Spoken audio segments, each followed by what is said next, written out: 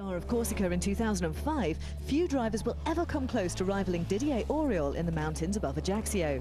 The Frenchman racked up no fewer than six victories on the island over his 21 years as a WRC driver, and few people would doubt his place amongst rallying's all-time greats.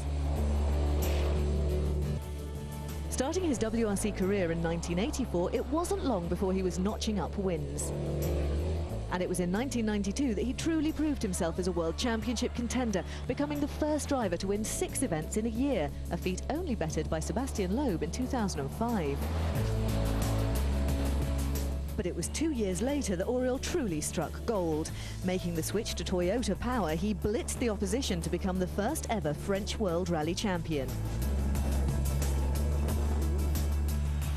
Always striving for perfection, the following year he felt it was time for a change and drafted in the services of experienced co-driver Denis Giraudet. It was a partnership that would last for nine years.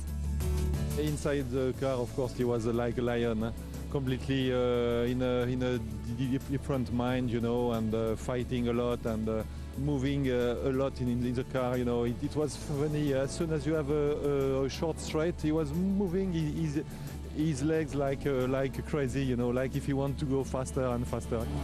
And in 1999, the pair came close to clinching the championship together. It was uh, one of these days where uh, it was our chance. We have to go flat out from the from the start, and so we did. We were uh, leading, but Didier was still pushing hard, and we end up uh, into one of his nice uh, Australian trees.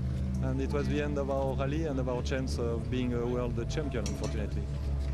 With Toyota pulling out of the championship at the end of that year, Auriol moved to SEAT in what became a season plagued with retirements.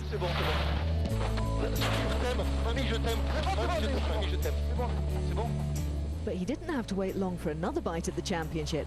In 2001, Peugeot drafted him in to partner the reigning world champion Marcus Gronholm. It ended up becoming a memorable season, but for all the wrong reasons. I need to adjust a very few things on my car. Don't change completely the car, but just a little bit the, the setup.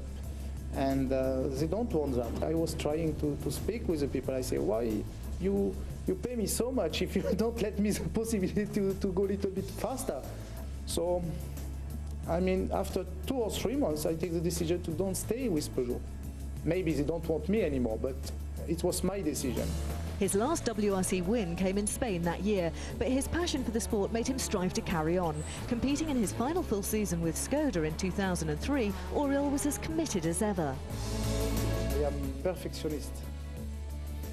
Um, I am ambitious. Uh, I like to win. Few people will ever be able to rival the speed, passion and skill of Auriol behind the wheel of a rally car.